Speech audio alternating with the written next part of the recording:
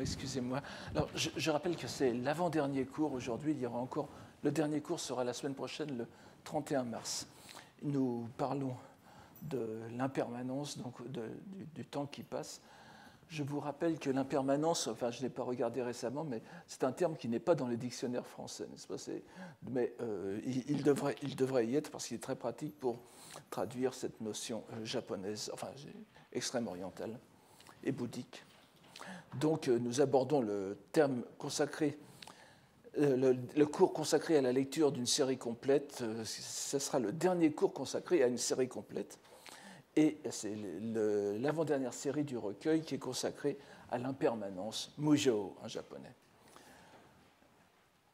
Nous pouvons considérer que c'est la dernière série véritablement thématique, c'est-à-dire qui répond à un thème classique répertorié dans les, euh, répertorié, ou dont il est à l'origine d'ailleurs dans, les différentes anthologies.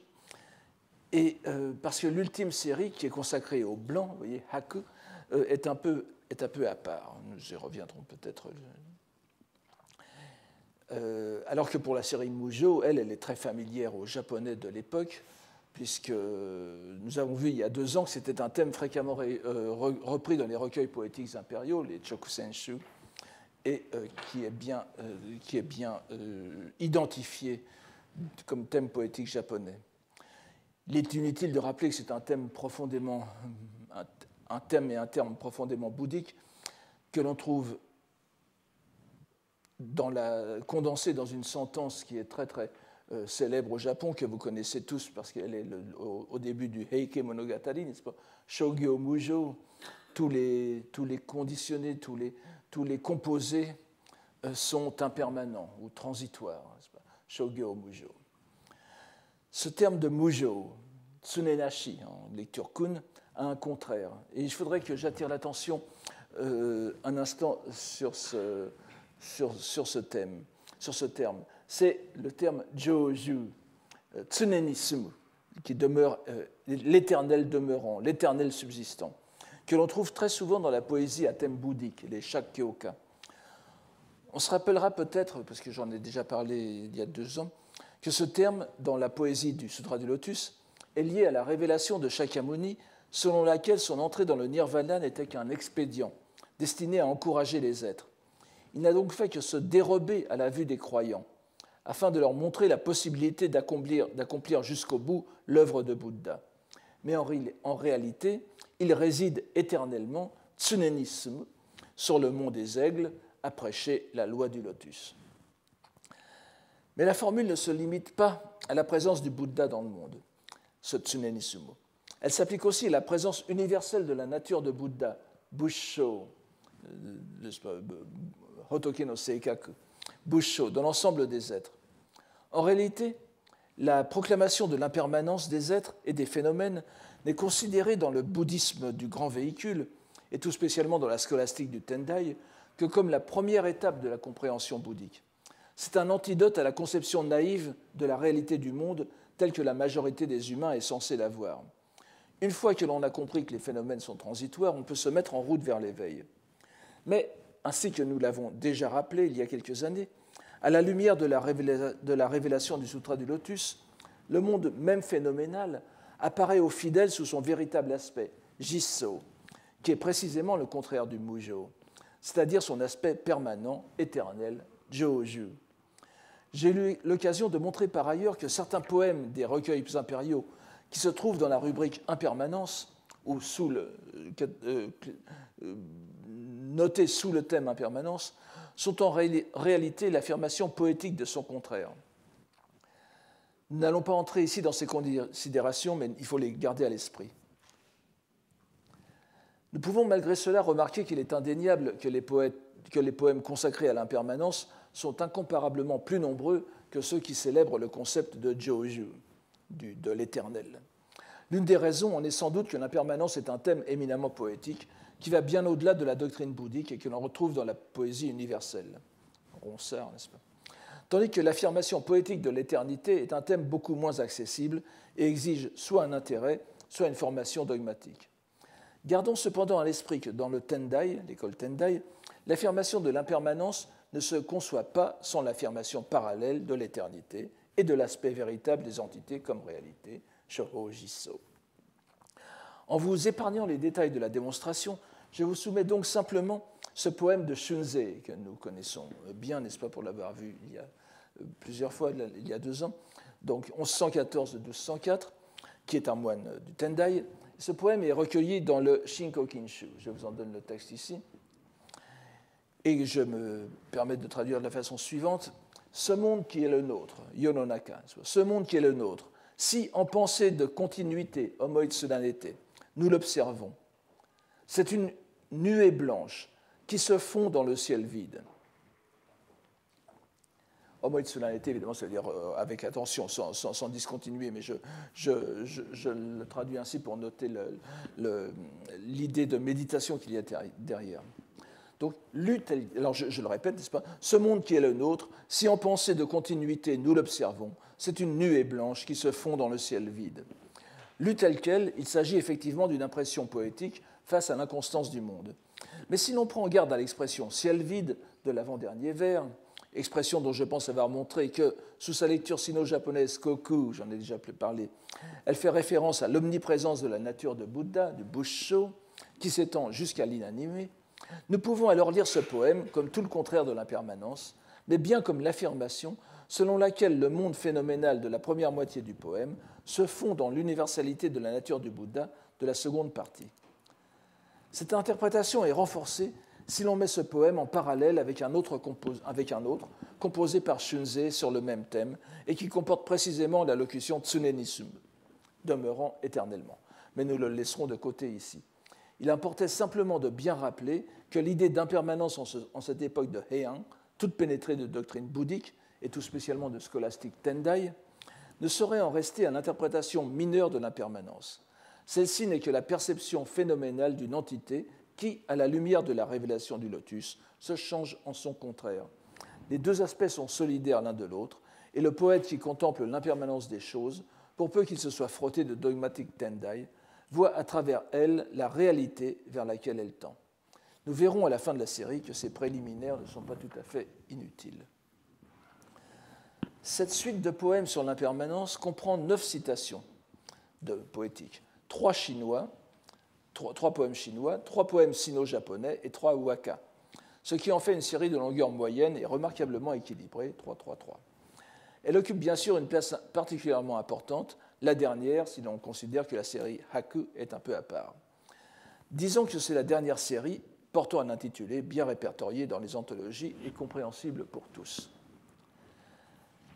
La première citation est d'un poème chinois inconnu, dont le nom semble être Luowei, Rai, Rai.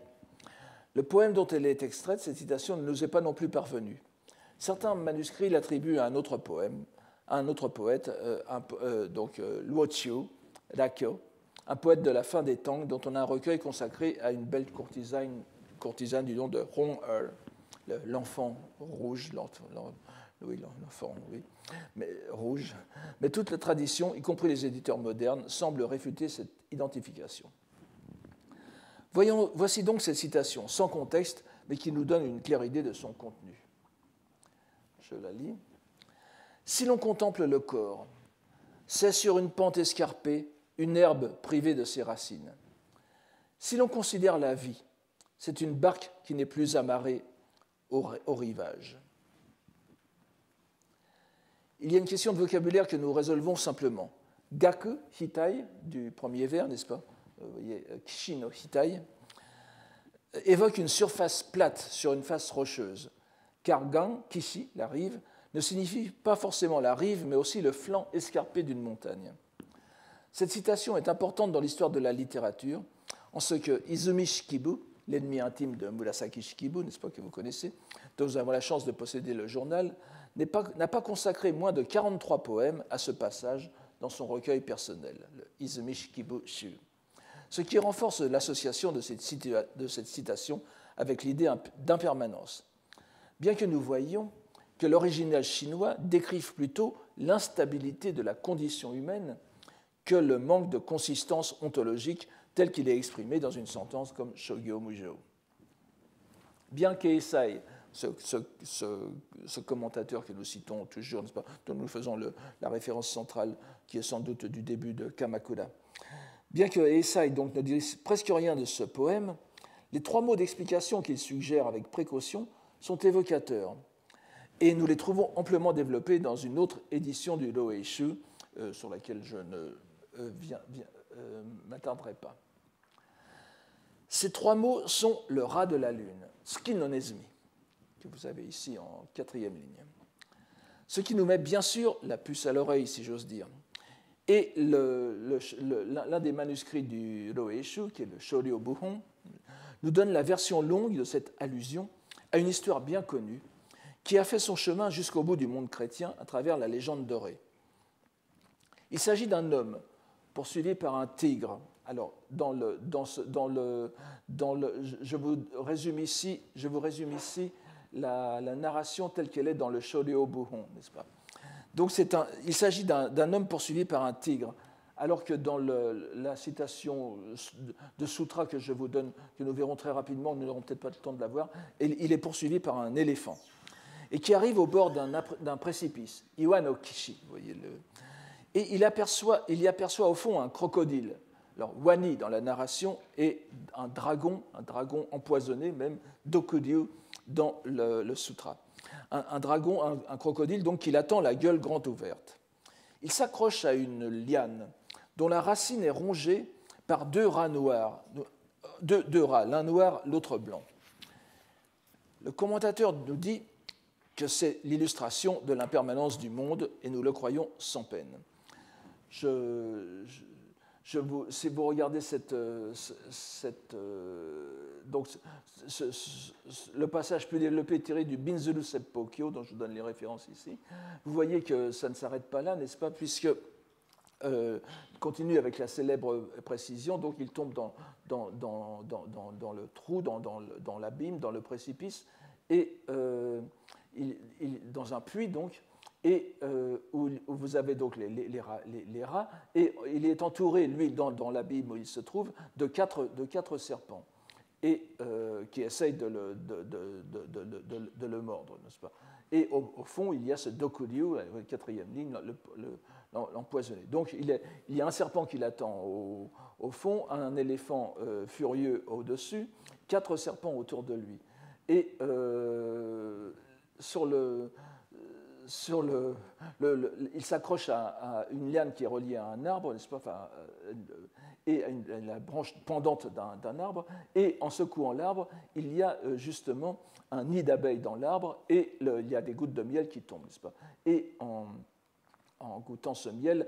Alors, ça n'est pas dit exactement comme cela ici, mais il goûte le miel et le miel lui fait oublier sa condition. Et dans ce Binzelu Seppokyo, il y a un détail qui n'apparaît jamais et auquel on pourrait penser aussi. S'il y a du miel, il y a des abeilles, n'est-ce pas?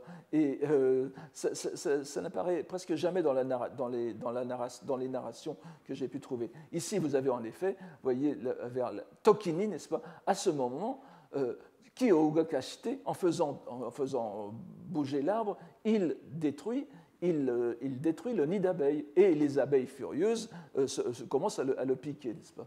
Et en plus, ajoute -le, il y a un feu qui se déclare dans la brousse. vous voyez qu'il est très mal parti. Mais euh, la, narration qui nous occupe ici s'arrête simplement au fait qu'il soit tombé dans le, précipice. donc, comme nous, pouvons le, voir, n'est-ce pas, de, voir dans cette citation, le lien entre,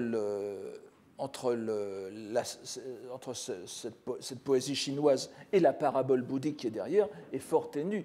On, il, n'est lié que par euh, euh, ce Kishin no Hitai, n'est-ce pas? Euh, Mais il était en tout cas bien établi à l'époque de Izumi Shikibu, puisqu'on trouve euh, dans son, journal, dans son, recueil poétique, 43 poèmes euh, consacrés à ce thème, justement, ce, thème autour, de, autour de cette citation chinoise. C'est-à-dire, les 43 poèmes sont faits autour de cette citation chinoise. Et il y a d'ailleurs dans l'un des poèmes la phrase Iwan Okakemichi, c'est-à-dire la, dernière que je donne ici, n'est-ce pas, Iwanoka Kimichi, qui est le chemin escarpé dans les rochers, qui fait clairement allusion à cela. D'ailleurs, Izumi Shikibu est à peu près contemporaine de Kinto. La seconde partie de la citation, en revanche, sur le, Tsunagaraza de Fune, est plus, euh, est, plus perceptible puisqu'il s'agit d'une reconnaissable puisqu'il s'agit d'une citation tirée de, euh, du, Oui, je vous donne ici la, version latine de la légende dorée si quelqu'un veut aller la voir, n'est-ce pas, dans l'édition de Grace, qui est assez facilement euh, disponible. On la trouve page 816. Donc, euh, on trouve dans le chapitre Zabien, n'est-ce pas, dans la troisième partie de Chuangzi, sous le chapitre Lieyuko, euh, c'est-à-dire Liezi, euh, il y a un passage où Liezi, le, sage, se fait morigéner par l'un de ses, de ses amis de bien, diraient les bouddhistes, de la façon suivante, ce que je vous donne en bas, n'est-ce pas Les habiles s'activent et les sages s'attristent. Les incapables n'ont plus rien à rechercher. Ils se rassasient et flânent ou errent sans but. Ils dérivent comme une barque sans amarre. C'est vainement qu'ils se livrent à cette errance. Ici encore, et bien plus que dans les vers précédents, ce n'est pas l'impermanence qui est au centre du passage de Chuangzi. Tout tourne autour de l'attitude que le sage doit avoir à l'égard de son entourage et du monde en général. C'est une réflexion sur la place du sage dans la société. Si nous considérons les deux vers dans leur rapport mutuel, nous voyons qu'ils considèrent, l'un et l'autre littéralement les hommes déracinés, ceux qui vont à volo, qui ne sont pas solidement reliés à une base ferme. Mais la, la connotation bouddhique paraît, vous le voyez, assez faible. Cela ne rend que plus intéressant de constater l'action des commentateurs qui ont manifestement commencé très tôt et avec efficacité à bouddhiser cette citation et ne l'ont certes pas fait sans y être incité par le recueil lui-même, puisqu'il s'agit du premier poème de la série sur l'impermanence, ce qui ne peut que signifier que le poème était ainsi compris avant même d'être choisi par Quinto. Nous avons ici une énigme mineure, en quelque sorte, dans la constitution de cette série. Mais il est en même temps bien dans la continuité de la méthode de Quinto de commencer une série thématique par une citation quelque peu en décalage, qui va lui permettre de, continuer, de constituer l'enchaînement d'une façon dynamique et presque narrative, ainsi que nous allons le voir. La seconde citation se fait en effet plus précise dans son rapport avec le thème. Elle est attribuée à un célèbre poète Tang qui fleurit au moment où l'impératrice, l'usurpatrice, Wu Zetian, Sokuten Buko, régnait sur la Chine. Ce poète euh, s'appelait euh, Song Zhewen So Shimon, mort vers 712. Il eut une vie assez tourmentée et euh, peut-être assez peu honorable, si l'on en croit ce qui est rapporté à son sujet. Cette citation fait d'ailleurs partie de sa mauvaise notoriété, puisqu'une tradition assure que ce vers aurait été plagié par l'auteur dans des conditions particulièrement sordides. Il aurait été en effet si frappé d'admiration par ce distique, qui, figurait dans un poème écrit par l'un de ses proches parents du nom de Liu Xi, euh, Liu Qi, euh, dont on, connaît bien les dates, lui 651-679, qu'il lui aurait demandé instamment de les lui céder, ce que refusa l'artiste passionné et hédoniste qu'était Siyi, qui ne pouvait s'abaisser à de civiles tractations. Le résultat fut que Song Jiwen le fit assassiner par l'un de ses serviteurs. La, conséquence est donc paradoxale. Jiwen, Shimon, survit au, au Japon essentiellement grâce à cette citation, qui est en même temps le prétexte à rappeler sa ville Ni ce qu'Essai, par exemple, ne manque pas de faire. Par certains côtés, le long poème de 26 vers de ce distique tiré rappelle le prologue du Hojoki, comme le second vers cité ici. Mais Song Jewen fait intervenir aussi, dans sa description, des changements. alors, il, fait intervenir, en dehors de la description des changements qui frappent la capitale, Luoyang, un peu comme Kamo no Chome décrit ceux de l'ancienne Kyoto, n'est-ce pas? Il, fait intervenir aussi l'altération de la beauté féminine. Euh, aux côtés des champs de mûriers qui deviennent des mers. Donc il ne, s'intéresse pas, seulement, pas seulement aux changements géographiques, sociaux, etc., mais aux changements individuels aussi. Alors que l'on serait bien en peine de trouver une allusion aux femmes dans le texte de Kamono Chome. Il est certain que nous sommes bien ici dans une description et une déploration de la permanence universelle. Encore qu'elle soit dans la citation même quelque peu ambiguë, je vous la donne. D'une année à l'autre, les fleurs se ressemblent, d'année en année, les hommes ne sont plus les mêmes. On a l'impression que les fleurs sont plus permanentes que les hommes ici. Nul doute que l'on se demandera à lire notre traduction en quoi ces vers pouvaient justifier un assassinat. Mais la question n'est pas là. Nous constatons que la, dynamique de la série se précise et que nous n'avons nul besoin d'évoquer une parabole bouddhique pour mettre en lumière le rapport du distique avec l'impermanence. Nous pourrions considérer que la troisième citation, qui est de Pojuyi, constitue une sorte de synthèse des deux premières, en ce qu'elle rapproche la futilité des affaires humaines, qui était plutôt le sujet du distique de Luowei, et, la déplorable brièveté de la vie humaine, qui était le thème de l'autre.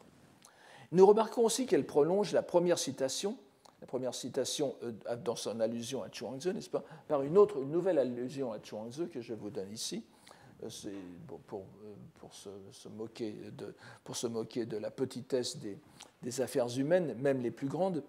Donc, sur ces cornes d'escargot, ah, pardon. Alors, je vous donne la citation ici, mais euh, je, vais l'expliquer. Je, vous donne d'abord la traduction la, du poème, n'est-ce pas? Donc, c'est la, seconde citation que vous avez ici. Sur des cornes d'escargot, pourquoi allez-vous combattre? Nos personnes ne sont que ce que dure l'étincelle de la pierre à feu. C'est le premier distique d'un quatrain faisant partie d'une série de cinq poèmes de Paul sur le vin. Le second distique, d'ailleurs, qui est entre parenthèses ici, est plutôt encourageant et n'a pas cette même tonalité, n'est-ce pas? Que l'on soit riche, que l'on soit pauvre, prenons du bon temps. Bien folle est celui qui ne rit pas à gorge déployée. Il est important de donner ce second distique en hors texte, car nous allons le voir bientôt, les citations qui suivent vont essayer de, diminuer l'enthousiasme de cette, conclusion. En tout cas, l'allusion aux deux royaumes qui se combattent d'une corde d'escargot à l'autre, les, deux royaumes s'appelant l'un collusion, n'est-ce pas, Shoku, euh, Shokushi, et l'autre barbarie, Man, Banshi. Donc cette euh, citation se réfère aux affaires des hommes, à la futilité des enjeux politiques, tandis que l'étincelle du silex est bien sûr l'impermanence à proprement parler. Là encore un certain décalage. La citation de Paul fait donc bien la synthèse des deux premières et nous allons voir comment son sous-texte va faire l'objet d'une réponse dans la suite. La quatrième citation, la première des poètes sino-japonais, vient du pinceau de Oe Asatsuna, mort en 1957, que nous avons déjà rencontré comme l'un des, des, poètes de style chinois les mieux représentés dans le Wakan no ne revenons plus sur ce grand lettré, et nous nous arrêtons sur son œuvre, euh, qui est elle aussi consignée dans le euh, Honcho Monzui, et qui était une proclamation de vœux, un gammon, à l'occasion de la cérémonie du 49e, jour, n'est-ce pas, la période intermédiaire, Chuin ou Chuon, après le décès de l'épouse du prince impérial Nakatsukasa. Le, genre littéraire est bien sûr, qui est le gammon, et surtout euh, le gammon pour une cérémonie funéraire, est bien sûr éminemment propice au rappel de l'impermanence.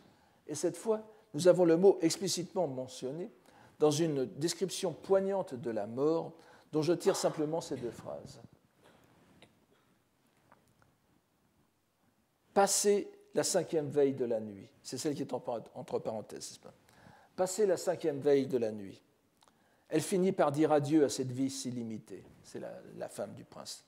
Au premier chant du coq à l'aube, elle aborda à jamais la séparation de l'impermanence. Mujo no Wakane, ni Les deux phrases retenues par le compilateur ne sont pas sans rappeler, pour la première en tout cas, l'un des deux poèmes de Shunzei dont je parlais tout à l'heure. Ce poème que je n'avais pas cité et que je vous donne ici, n'est-ce pas? Que, bon, je, je, Tsuneni sumo washi no miyamano, tsuki, danimo, omoi shiretozo, kumogaku dekeru. Pas même la, lune elle-même qui, euh, qui, brille sur le mont des aigles et demeure éternellement, c'est le Bouddha bien sûr. Omoishire Tozo, dans le désir d'enseigner aux hommes, n'est-ce pas Réfléchissez-y. Elle-même donc s'est cachée derrière les nuages. Vous voyez, la, lune éternelle se cache, mais ce n'est qu'une montrance. Donc, et euh, nous avons ici dans, cette euh, citation de, la même ambiguïté du message. Ce qui prend naissance finit toujours par disparaître. Shakyamuni lui-même n'a pu échapper au bûcher de Santal, du bois de Santal. Le plaisir venu à terme survient la tristesse. Les dieux eux-mêmes en arrivent au jour des cinq signes de déclin. Nous retrouvons bien sûr ici les accents du Shogyo Mujo évoqués plus haut, auxquels le Bouddha lui-même n'a pu échapper. Et vous voyez d'ailleurs le Shoja Hisui en, changeant légèrement les caractères, vous avez le Shoja Hisui qui suit la citation Shogyo Mujo dans le Heike Monogatari. Nous retrouvons donc ces accents du Shogyo Mujo auxquels le Bouddha lui-même, n'est-ce pas, comme la lune tout à l'heure, n'est-ce pas, la lune fait montrance de, disparition comme le Bouddha. Nous savons bien sûr que ce qu'il en est exactement. C'est pour s'adapter au monde phénoménal que Shakyamuni a eu recours à ce qu'il faut bien appeler un simulacre. Il conviendrait de citer tout le Nyorai Judyohon, d'ailleurs le 16e chapitre du Sutra du Lotus, pour illustrer ce propos. Et je n'en retiendrai qu'une phrase, celle qui est donnée euh, entre crochets euh, après la citation, n'est-ce pas? Joju Fumitsu, je demeure en pérennité sans disparaître. Car il faut se garder d'oublier, comme continue le sutra, L'ainsi venu a un savoir et une vision. Vous savez, bout chicken, n'est-ce pas le chicken que nous avons déjà vu L'ainsi venu, le Nyorai, a un savoir et une vision des aspects des trois mondes conformes à la réalité. Il n'y a ni naissance ni mort, ni retrait ni émergence. Personne pour demeurer au monde, ni passer en disparition. Ils ne sont ni réels, ni inanes, ni, ni dépourvus de réalité, n'est-ce pas Ni ainsi, ni autrement. Ils ne voient pas les trois mondes comme les trois mondes. Aucun des lecteurs de Oe no Asatsuna n'ignore tout cela.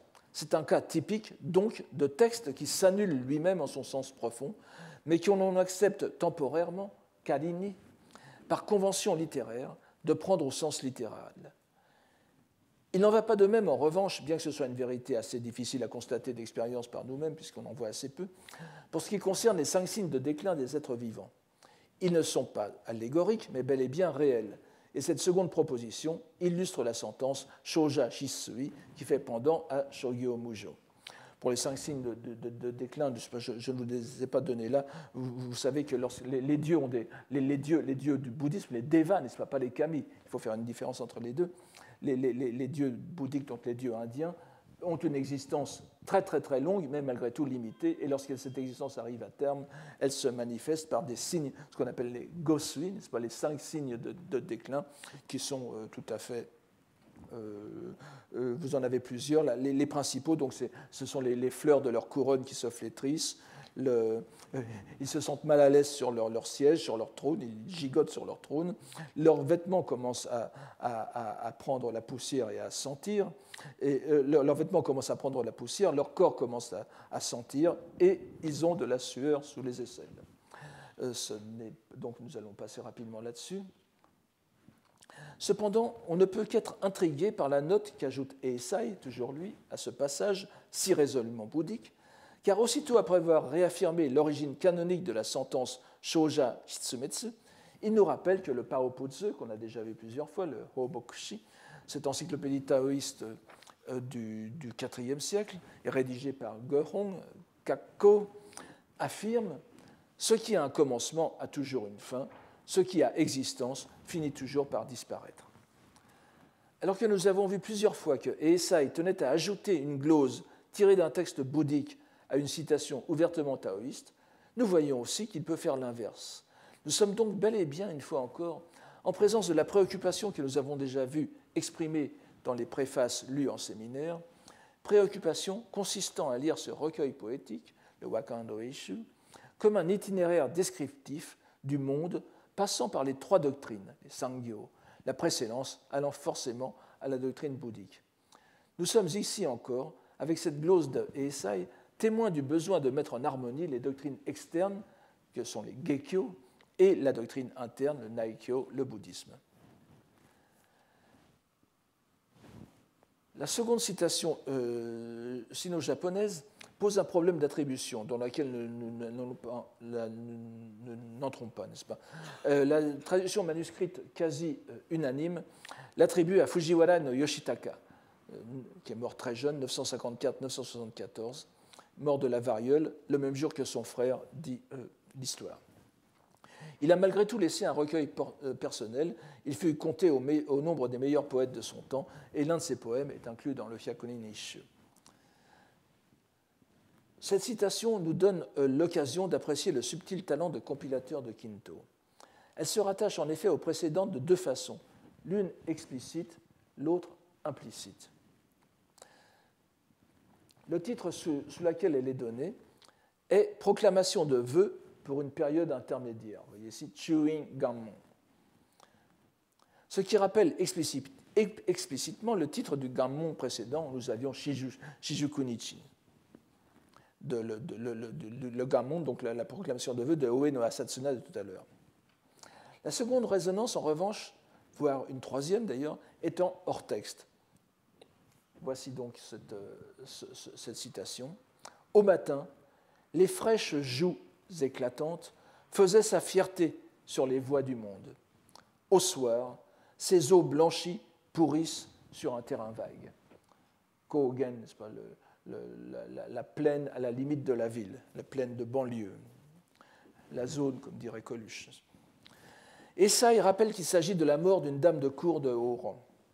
Nous voyons en tout cas que les belles joues roses, Kogan, se trouvent déjà dans le poème de Song Jewen, Shimon, dans la partie non citée, que je vous donne ici après Kogan, n'est-ce pas? Voici ce que disait euh, Shimon. Ce vieillard à la tête chenue fait vraiment pitié. Dire qu'autrefois c'était un beau jeune homme aux joues fraîches. Remarquons en passant que l'expression qui ferait plutôt penser en Europe à une description féminine s'applique ici aux deux sexes, bien que le plus souvent elle s'emploie pour les femmes. Une troisième résonance, possible mais fort ténue, serait encore avec la citation précédente, où Asatsuna, poursuivant sa triste description du mariage interrompu par la, par la, par la mort, disait, et c'est l'avant-dernière ligne de citation ici, La promesse de vieillir ensemble cent ans durant n'était rien d'autre qu'une fleur sur la voie des rêves. La locution que nous avons, Muro, pour euh, pour euh, Yumeji, n'est-ce pas, Yumenomichi, du texte de Asatsuna, annonce le Sero Yonomichi de Yoshitaka et le commande, pour ainsi dire. Les voies du monde sont aussi peu fermes que les voies du rêve. Aussi ténue qu'elle puisse sembler, la correspondance est bien là, et le contexte ne peut que nous engager à penser qu'il n'a rien de fortuit, ce d'autant plus que nous allons retrouver le rêve dans la citation suivante. Avec ce dernier euh, fragment sino-japonais, nous retrouvons Oe no Asatsuna dans un 8 dont un, distique avait déjà été cité dans la série sur les singes, que nous n'avons pas eu le temps de voir. Ce poème, intitulé En raccompagnant un moine qui, part, qui repart vers son temple de montagne, euh, Yamani Kaeru So contraste la sérénité du moine qui regagne son lieu de méditation avec l'esprit inquiet de celui qui l'accompagne, encore en proie aux tentations du monde. Il convient d'ailleurs que remarquer que le cri des singes qui retentissent tout autour de la frêle passerelle de planches, Kakehashi, euh, qui est décrite dans, le poème, ces, planches, ces espèces d'allées de planches le long du flanc de la montagne, et qui peut encore être une allusion aussi au, au, Kakemichi que nous avons vu tout à l'heure. ces cris du singe donc font une allusion manifeste à la à l'expression bien connue euh, bouddhique, n'est-ce pas? Chien Iba, le Kokoro no Saru et euh, I Ishiki no Uma, n'est-ce pas? Donc Kokoro no Saru, c'est le, singe qui est, la pensée, qui est l'esprit de l'homme, qui ne, peut jamais s'arrêter à un objet et qui va euh, d'objet en objet comme le, singe saute de, de, branche en branche. Donc, c'est la pensée tiraillée entre les divers attraits mondains. Par exemple, comme dit le, vers, un vers qui, précède, euh, lorsque, le, moine euh, repart fièrement drapé dans sa robe, dans sa robe de, moine, et brandissant sa canne à anneau, son shakujo, n'est-ce pas? Le poète, lui, comme dit le, premier vers que vous avez entre parenthèses ici, entre crochets ici, il retournera à la honte de ses passions terrestres. le kujin no jo, alors, c'est euh, Hazuru Rokujin no Jo ni kaeru. Shi ni wakarete, Hazuru Hajiru, Hazukashi Rokujin no Jo ni kaeru.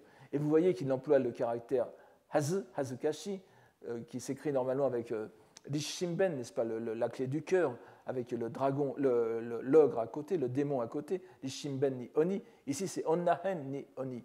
C'est une, un, une, variante bien attestée, mais elle est attestée aussi euh, euh, dans ce poème même. Elle semble bien être le propre de l'auteur. Et en mettant la clé de la femme, il dit euh, à quelle tentation du monde il, se, il retourne, n'est-ce pas?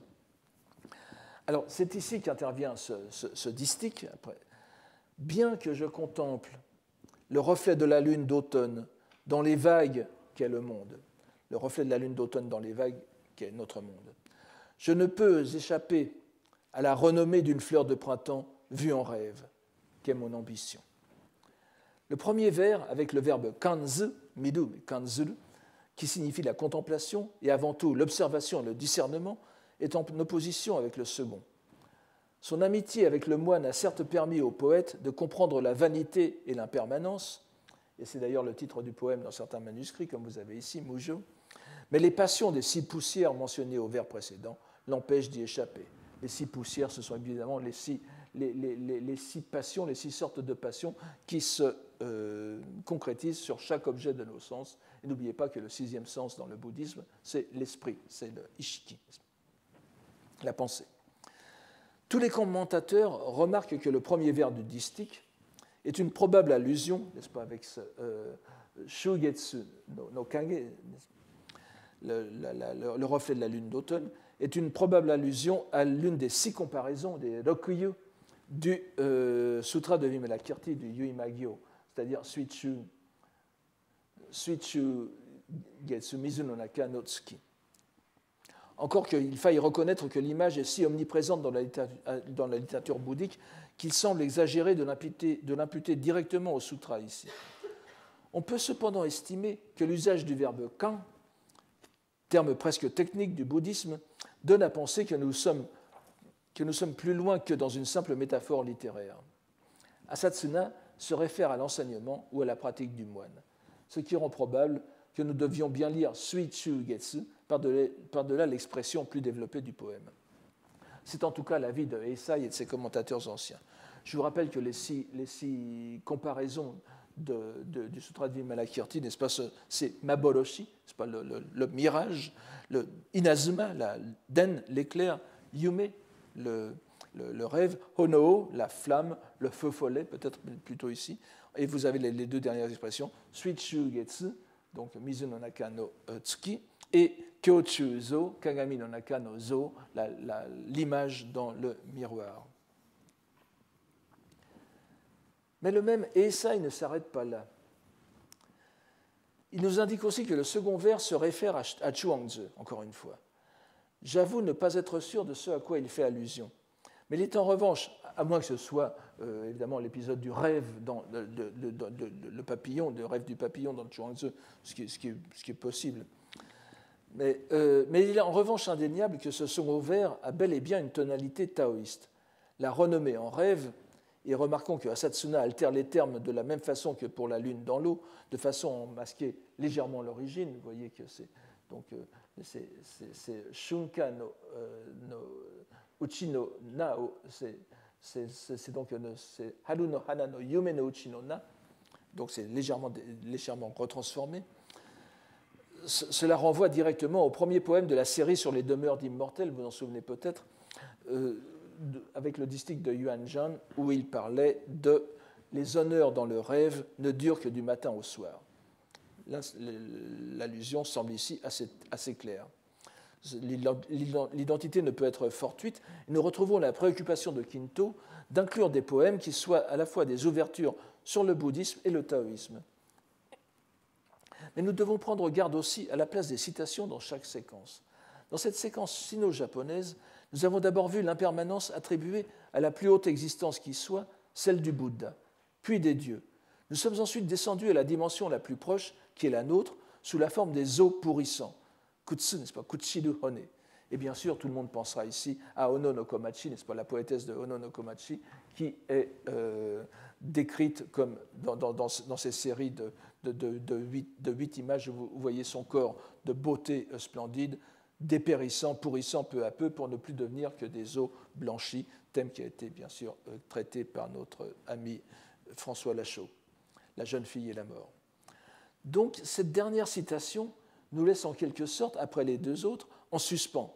Le poète est conscient de l'impermanence et de la vacuité de nature propre, Jishoku, euh, qui, est ce qui est la, même chose que l'impermanence, n'est-ce pas? Mujo et Jishoku, mais il reconnaît qu'il ne peut encore s'en détacher. La tonalité générale de la séquence de style chinois est donc bouddhique, certainement, mais il est tout aussi important de remarquer la claire présence du taoïsme aux côtés du bouddhisme. Cela est quelque peu paradoxal, car nous savons bien, après la série sur les demeures des immortels, précisément,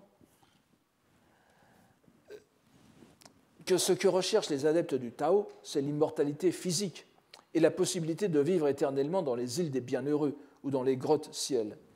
Mais nous pouvons comprendre sans peine l'intention du compilateur. Ce qui était pour les taoïstes démonstration de la relativité de ce que le vulgaire considère comme un absolu, que ce soit les catégories euh, spatio-temporelles ordinaires ou la renommée littéraire aussi bien que politique, tout cela donc avait pour but d'indiquer la vraie voie qui peut apparaître comme transcendant le monde.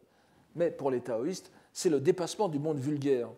Les demeures des immortels sont encore dans des lieux terrestres ou autour de, notre monde connu, mais des lieux identifiables, que ce soit les, noms des montagnes, des différentes montagnes, ou bien les, îles fortunées qui sont dans la mer de, l'Est. Le bouddhisme peut faire sienne cette démonstration, mais les moines savent bien que la voie bouddhique les mène bien au-delà de la voie taoïste. C'est à peu près la position de Kukai dans, la, convergence des trois enseignements, le Sangoshi, qui, qui peut reconnaître la supériorité du taoïsme sur le confucianisme, mais se garde bien de le mettre sur un pied d'égalité avec le bouddhisme. Ainsi, dans cet enchaînement, il est indéniable que le bouddhisme, que le taoïsme constitue une sorte de compagnon de route pour le bouddhisme, en ce qu'il permet de découvrir l'insuffisance de la perception vulgaire du monde, mais il est tout aussi indéniable que les deux doctrines ne mènent pas leurs adeptes respectifs à un terme semblable. Seul le bouddhisme peut mener jusqu'au bout de la compréhension de l'impermanence.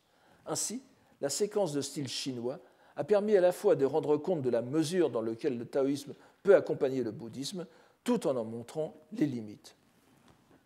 Comme de coutume, pouvons-nous dire à présent que nous avons déjà survolé une partie significative du recueil, la séquence japonaise va apporter son lot de surprises.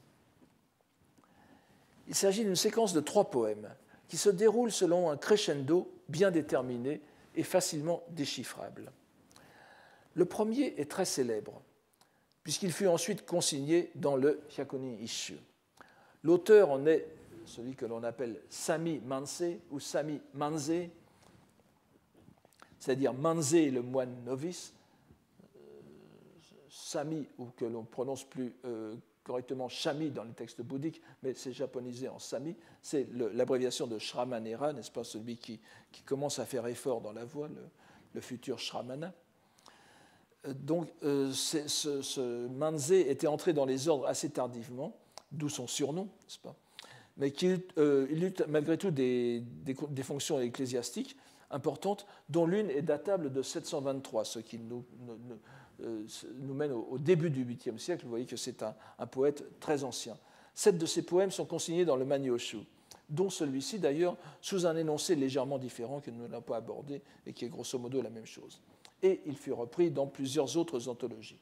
La voici, tout le monde la connaît, n'est-ce pas euh, Donc, euh, ce monde qui est le nôtre, à quoi le comparer? Au petit jour, une blanche écume tracée par la barque qui s'éloigne. Je laisse tomber ici Kogi Yuku qui s'éloigne à la rame parce que ça, me semble que ça, fait tomber un peu le poème dans, un aspect un peu, trop, un descriptif. Donc ce poème très simple et très beau se passe de commentaires. Il est souvent cité comme l'une des premières expressions poétiques japonaises du sentiment de la permanence. En lui donnant la première place dans la séquence japonaise, Kinto se met aussi dans une perspective historique. Ce poème résume, à date très ancienne au Japon, l'essentiel de ce qui est décrit précédemment, par les poèmes de style chinois, que ce soit du point de vue bouddhique ou taoïste. Nous remarquons que le contenu bouddhique du poème est à peine esquissé. Il faut, remonter à l'autre série bien connue de, euh, des six comparaisons, vous avez en général, lorsqu'on parle des rokuyu, n'est-ce pas et, euh, parfois d'ailleurs on dit rikuyu pour faire bouddhique, alors que c'est le contraire, mais je n'entre pas dans ces détails. Donc l'autre série de six comparaisons est celle donnée dans la Vajrachedika, n'est-ce pas, le, Kongokyo. À la fin, vous avez, vous avez ce, célèbre quatrain de la fin du Kongokyo, où on vous redonne les, euh, les, les, les, Issai Uiho. Vous avez ici le, le les oui que vous avez dans le Iroha no Uta, n'est-ce pas Ui no euh, Okuyama. Ce sont les composés, le, monde, le, monde, fait de composés. Et euh, c'est pratiquement, pratiquement synonyme de shogyo, pour la plupart des Japonais en tout cas. Euh, D'ailleurs, même en sanskrit, les deux noms sont, faits sur des racines semblables ne vais pas plus avant. Mais vous voyez que les six comparaisons ici, c'est Yume no Gotoshi, Maboroshi, Utakata ou Awa, n'est-ce pas? Donc c'est le, le, le, rêve, le mirage, l'écume, Kanye, le reflet, et aussi la, tsuyu, n'est-ce pas, la, rosée, et euh, l'éclair, encore une fois. Donc ça recoupe, ça recoupe mais pas tout à fait, les rokuyu de, de, du, euh, de, du Malakirti. Et vous voyez que ici, donc, le, ce, ce, Shiranami peut en effet rappeler le, les, bulles ou l'écume du euh, Kongokyo. alors, il y aurait donc quand même une citation, une, une, intentionnalité vraiment bouddhique, mais qui est en plus bien sûr précisée par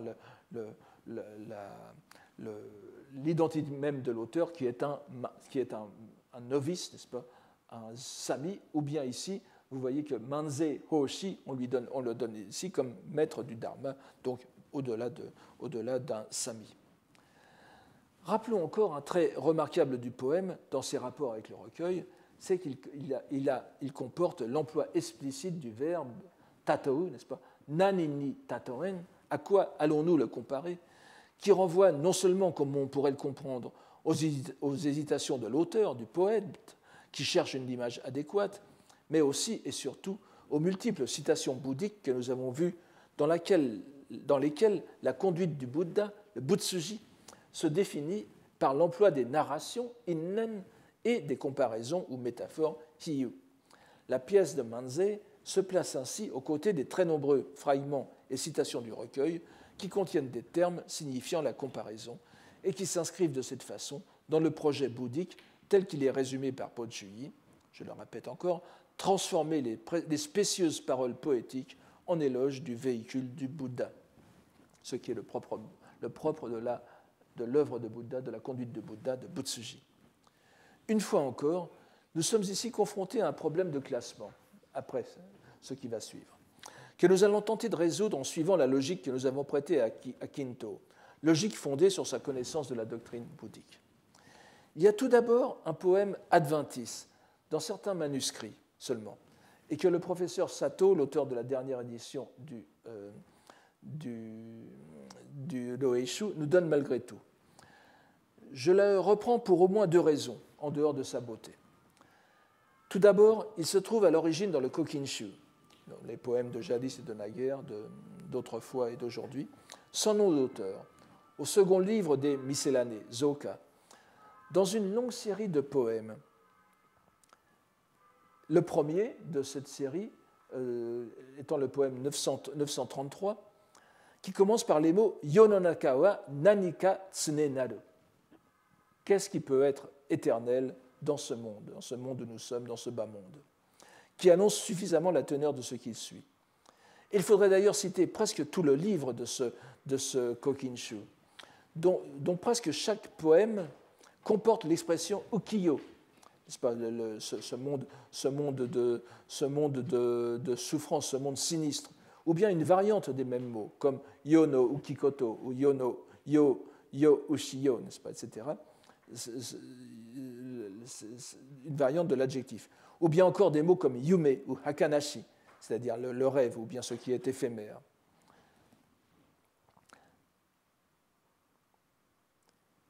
Or, la seule chose qui soit bouddhique dans cette longue série du Kokinshu, qu'on pourrait presque appeler des Shakkyoka, avant l'heure, n'est-ce pas? On ne les appelle pas Shakyoka, mais c'est pourtant vraiment une série de poèmes à thème quasiment bouddhique, mais ce thème bouddhique est uniquement fondé sur l'impermanence, sur le, donc le, le, le, le, mujo bouddhique. Cependant, donc, euh, ce, poème qui est donné ici en variante, de la, en variante, de la, euh, en, variante dans un manuscrit du euh, Loeshu, je, ne vous l'ai pas indiqué ici, mais je vous le, je vous le, je vous le lis à haute voix en japonais d'abord, et euh, pour vous, bien vous en dire la, teneur, et vous verrez comment il s'articule avec les autres. Yono nakawa, yumeka utsutsuka, utsutsutomo, yumetomo shirazu, arite nakereba. Yono nakawa, yumeka utsutsuka, utsutsutomo, yumetomo shirazu, arite nakereba. Qu'on pourrait traduire ainsi Ce monde où nous sommes, est-il songe ou réalité? Qu'il soit rêve ou vrai, point ne sait, puisqu'il est sans être. Comme on le voit, l'insistance sur le rêve le mettrait bien dans le prolongement de, notre séquence du Loeishu dont nous avons déjà remarqué qu'il en est un thème résurgent. L'autre raison est d'ailleurs que c'est un, poème retenu dans le Kingyokushu de Kinto, qui est un autre recueil poétique fait par Quinto, dont on vient de euh, donner une très belle traduction française à noter, qui est l'œuvre de Michel Vieillard-Baron, sous le titre Recueil des joyaux d'or. Ça vient de sortir aux belles lettres, n'est-ce pas? Nous devons cependant le laisser à regret, ce poème, hors de, notre, de, de nos considérations, car nous voyons qu'il s'articule moins bien avec le poème qui le précède que celui que nous abordons à présent. Et l'on verra tout de suite pourquoi les deux poèmes, celui-ci et le suivant, ne pouvaient se trouver ensemble. Donc nous arrivons maintenant à ce qui est bien le second poème de cette séquence de trois poèmes finale, n'est-ce pas qui reprend la comparaison de la Lune apparue deux citations auparavant, et une comparaison qui émane, nous l'avons vu, du Yuimagyo. Voici, voici ce, poème. Nous n'avons plus à présenter l'auteur Kinotsu Dayuki, dont la notice dit qu'il composa ce poème, conservé dans les glanures poétiques, le shuishu, alors que, dit la notice, souffrant d'un accès de mélancolie, Yononaka kokoro bosoku oboete, sunenaranu kokochishi haberikereba. Donc il, était, il, se, sentait mal euh, dans son être. Et euh, en plus de, euh, ce qu'on pourrait appeler une sorte de dépression, il avait vu son état maladif s'aggraver. Kono aida yamai omoku narikeri. Et à cause de cette notice, les lecteurs japonais ont voulu voir dans cette pièce un poème d'adieu au monde, un JC de euh, Kinotsu. Mais euh, à l'origine, ce n'est pas, pas, explicitement cela. C'est la, la, postérité qui a voulu le, faire ainsi. Nous y voyons en tout cas une interrogation sur l'existence. Le voici. Tenemusubu, n'est-ce pas? Au creux de mes mains s'abrite dans l'eau un reflet de lune. Est-il ou n'est-il pas ce monde où je demeure? En réalité, ça fait avec le Tsugikage no Arukanakika no Yoni. Vous voyez que le Arukanakika se, rapporte à la fois à Tsuki no Kage et à, yon, à, n'est-ce pas Yo no Naka. Donc, mais en français, nous sommes obligés de scinder, sinon ça ferait une phrase impossible. Donc, le, mot yo pouvant signifier monde, âge, génération, durée de vie, Tsurayuki s'interroge à la fois sur l'inconstance du monde, qui est aussi peu consistant que le reflet de la lune dans l'eau qu'il puise au creux de ses mains, et sur le peu d'assurance de voir sa propre existence se prolonger. Nous constatons que le jeu sur Aruka Nakika est trop proche de Adite Nakereba, du, poème que nous avons vu, euh, qui n'est pas conservé dans, la tradition, pour que les deux poèmes coexistent. Ils ont donc été répartis entre le Roeishu et le Kingyokushu. C'est du moins ce qu'on peut euh, envisager. Par le choix de ces deux poèmes sur l'écume et le reflet de lune, avec plus que jamais en filigrane le rêve, Kinto pourrait conclure sa séquence. C'est d'ailleurs bien ce qu'il fait selon certains manuscrits, qui mettent en dernier le poème de Tsurayuki. Mais ce n'est pas la grande majorité. Celle-ci s'accordant à donner la, dernière place à un poème tout à fait singulier si on le lit au-delà de sa lettre. Il est l'œuvre du recteur monacal Henjo, Henjo, Sojo, n'est-ce pas qu'on trouve parfois euh, du Sojo Henjo dont nous avons déjà vu le poème si complexe des perles de rosée sur les pétales de lotus, dans lequel il s'interrogeait sur le vrai et le faux. il, aime, bien, il aime beaucoup ces, ces, poèmes très ambigus, on ne sait plus où est la réalité. Et il termine dignement non seulement la série sur l'impermanence, mais tout le recueil du Wakando Ishu, si l'on exclut la partie Haku, euh, avec, ce, poème éminemment, euh, je dirais presque controuvé. Ce poème sera d'ailleurs plus tard retenu comme le premier dans la rubrique Aishoka, encore les élégies, du euh, Shinkokinshu, des nouveaux poèmes de jadis et de naguère. C'est donc un chant de déploration, mais où il a été pris comme un chant de déploration. Mais nous verrons que ce n'est pas que cela. Le voici, ce, ce chant, ce poème. La rosée sur les ramilles, la goutte en est à la racine en ce monde qui est le nôtre, serait-ce le modèle Tameshi pour qui, plus tôt ou plus tard, disparaît? Je le répète parce que nous allons le commenter un peu longuement.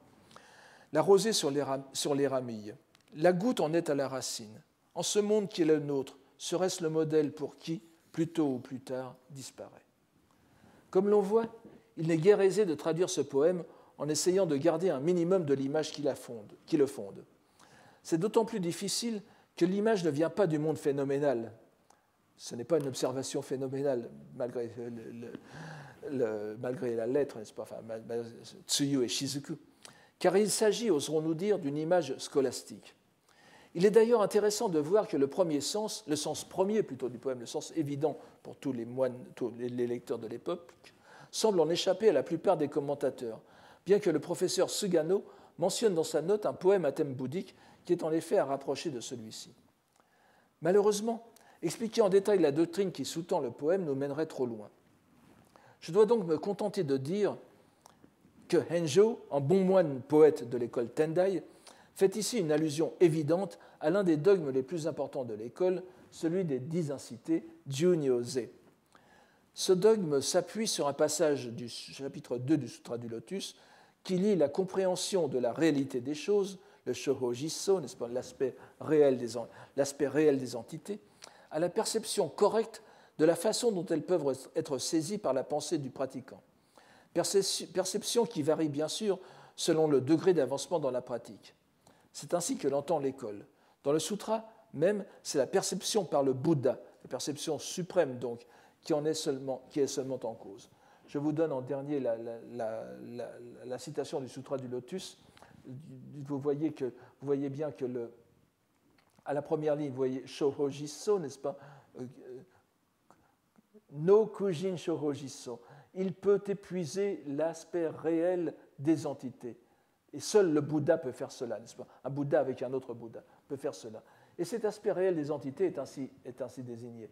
Nyose so, nyose sho, nyose tai, nyose riki, nyose sa, nyose in, nyose en, nyose ka, nyose ho et nyose hommatsuku kyoto.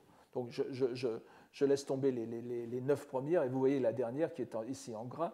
Nyose hommatsuku kyoto, c'est l'incité. Ainsi est la totale égalité kukyoto entre hommatsu, entre le début et la fin. Nous ne nous interrogerons pas trop sur ce que ça veut dire du point de vue scolastique, mais vous voyez, moto sue. Je suppose que c'est déjà assez clair pour vous. Pas? Donc, euh, la dernière des six incités, celle qui les reprend toutes, est appelée incité de parfaite égalité du début et de la fin. C'est-à-dire que tout le parcours, le parcours cognitif opéré par la pensée est en réalité un retour à l'origine, qui n'est jamais différente en son essence des différentes manifestations qui se déploient à tous les niveaux du phénoménal. Car c'est bien de cela qu'il s'agit. Les dix, incités s'exercent dans les dix niveaux d'existence, Jukkai, n'est-ce pas? Ju Sekai. Elles constituent un moyen de les appréhender du plus bas, du plus bas de ces niveaux d'existence, les enfers, Jigoku, jusqu'au plus haut, le plan de Bouddha, Bukkai, que nous allons voir dans le séminaire tout à l'heure d'ailleurs. Euh, donc, voici ce que signifie à peu près cette, euh, cette incité. Et donc arrêtons-nous là pour revenir au poème du moine Tendai, Henjo, lequel joue bien sûr sur l'essence phénoménale et dogmatique à la fois. La rosée, comme chacun sait, précède les gouttes en lesquelles elle se forme pour tomber des feuilles où elle s'est constituée, musubu. Or, dans la nature, ces feuilles et les rameaux où elles poussent sont aux extrémités des arbres, sué, donc, et les gouttes retournent à la racine, vont vers la racine de ces mêmes arbres, moto. La rosée, cause, et la goutte, effet, inversent le processus logique, puisque euh, la, cause est dans, est dans, les extrémités et l'effet est dans la racine. Mais en même temps démontrent la, validité de cette dixième incité, puisque c'est la totale égalité entre les deux. Début et fin sont parfaitement intégrés l'un dans l'autre. C'est ce que Jien exprime aussi dans un, poème sur cette même incité. Je n'insiste pas trop sur ce poème. Vous voyez, Zehon Matsuku Kyoto Nimo Harukurete Kozue no Hana no Neni Kaeri Nuru. Kozue, vous voyez, Kozue comme sue ici, c'est à prendre dans les deux sens. En parfaite égalité du début et de fin, dit Jien, le printemps s'en allant, la fleur sur la ramille retourne à la racine. La fleur en tombant retourne à sa racine. Le neveu de Jien, Yoshitsune, a composé lui aussi sur la dixième incité un poème qui peut être considéré comme euh, un honkadori de celui de Henjo. Je vous. Donc,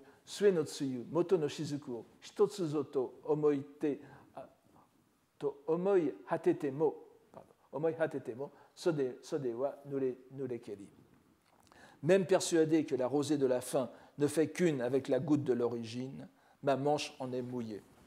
C'est-à-dire qu'il ne peut se résoudre, sachant bien que tout est dans tout et réciproquement, euh, sa perception émue du phénoménal ne, lui est pas une, consolation.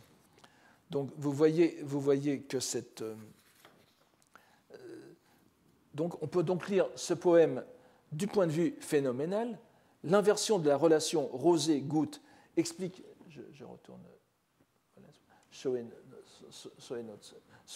n'est-ce pas? On peut lire ce poème du point de vue phénoménal, et l'inversion de la relation rosée-goutte explique qu'il est normal que, certains meurent avant d'autres. Je, ne sais pas si je vous ai donné la. Oui, voilà donc, celui qui tôt ou tard disparaît, n'est-ce pas? Donc certains meurent, euh, certains meurent avant d'autres, c'est l'inégalité de la, de, de, la, vie.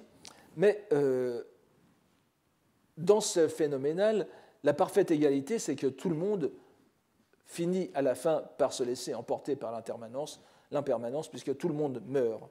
Mais le sens véridique, le sens véritable du poème est tout aussi présent. Mort et renaissance sont une seule et même chose, dans la parfaite réalité du Sutra du Lotus. Car n'oublions pas que ces dix incités se rapportent au Sutra aussi. Il est bien sûr hautement significatif que ce poème vienne conclure à la fois la série sur l'impermanence et le recueil lui-même. Les dix incités étant pour ainsi dire le modèle d'analyse qui mène à la perception de l'aspect réel des entités, elles rendent caduque l'idée même d'impermanence et en constituent l'antidote. Mais en même temps, c'est l'ensemble du recueil qui est mis sous l'éclairage de l'incité de parfaite égalité de début et de fin. Toutes les contradictions, toute la diversité, et aussi toutes les idées littéraires et confucianistes, les pratiques taoïstes, sont intégrées dans l'aspect réel, ce qui semble être une assez bonne conclusion à notre lecture de passages choisis de ce recueil. Il nous reste à présent à tirer quelques conclusions générales de tout cela, ce que nous ferons au prochain cours, et je vous remercie pour aujourd'hui.